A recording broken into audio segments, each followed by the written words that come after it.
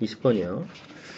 어, 두 점을 초점으로 한, 하는 음, 타원의 서로 다른 두 점 PQ에서 원점 O에서 선분 PF와 내린 수선의 발을 각각 H랑 I라고 한다 라고 했죠. 그래서 이렇게 선을 그어서 수선을 내렸다.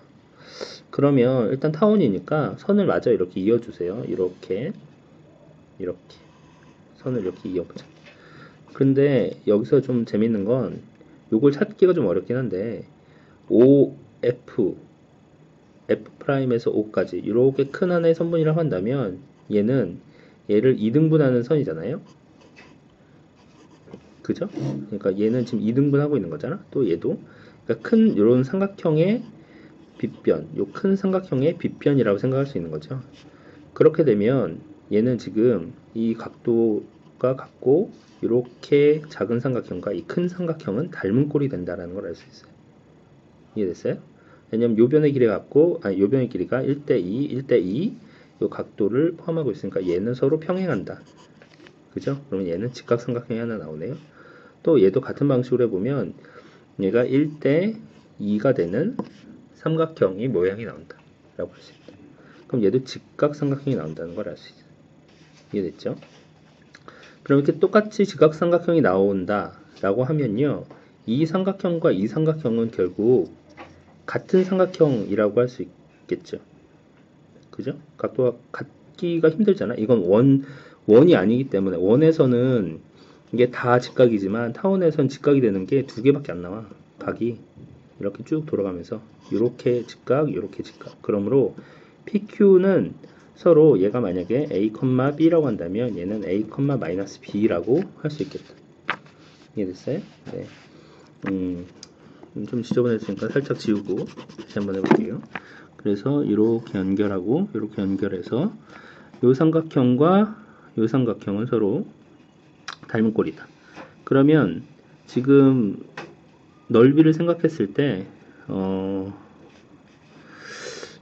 어, 이 닮은 꼴이다 라고 했으니까 이렇게 수직 직각으로 만들 수 있고요. 그럼 얘는 이렇게 나눠서 작은 삼각형 4조각이라고 생각할 수 있겠네요. 여기도 이렇게 아니 이렇게 이렇게 생각하면 여기도 작은 삼각형 4조각이라고 생각할 수 있다. 그러면 얘는 서로 같은 거잖아. 그래서 이걸 다시 한번 그려보면 이 작은 삼각형 하나에 이게 OH의 길이와 똑같고 그 다음에 이 길이는 어, OI의 길이와 똑같다. 그래서 뭔 말인지 이해돼요? 이렇게 해서 얘, 얘의 높이가 OH 얘의 밑변이 OI 이렇게 생각할 수 있다. 그러면 우리가 지금 OH랑 OI랑 곱해서 10이잖아. 얘랑 얘랑 곱해서 10이죠. 그럼 삼각형의 넓이는 5가 되겠어요.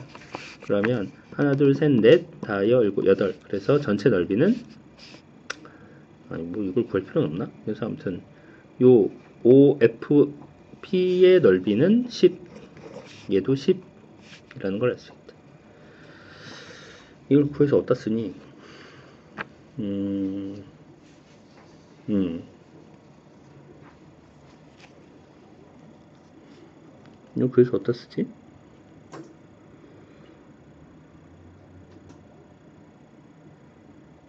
음.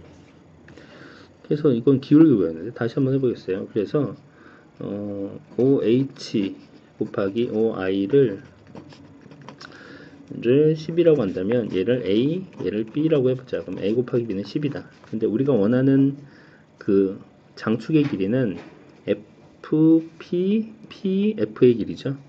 그지?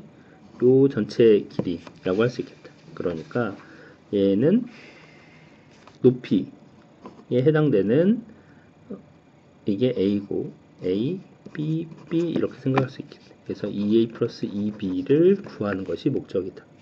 이게 L이다. 라고 할 수 있겠어요. 음.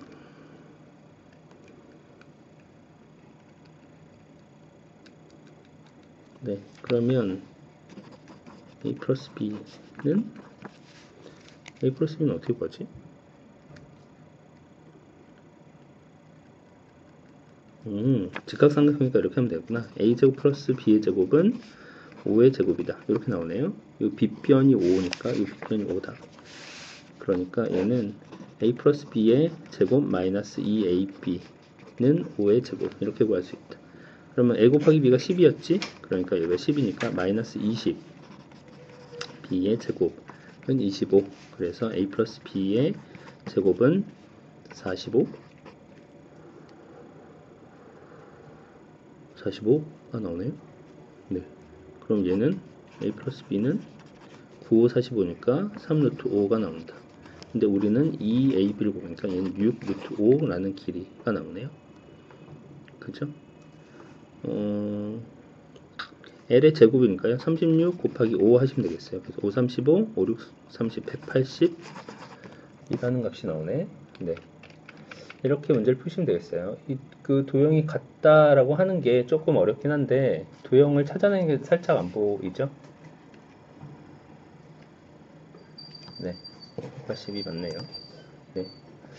그래서 여기 처음에 이렇게 도형을 잘라 생각하는 게 좀 어렵긴 해요. 그런데 이게 지금 여기서 어, 초점의 그러니까 중심이 초점의 중간점이다. 그래서 도형을 이어서 생각을 해보면 음, 좀 쉽게 풀 수 있어요.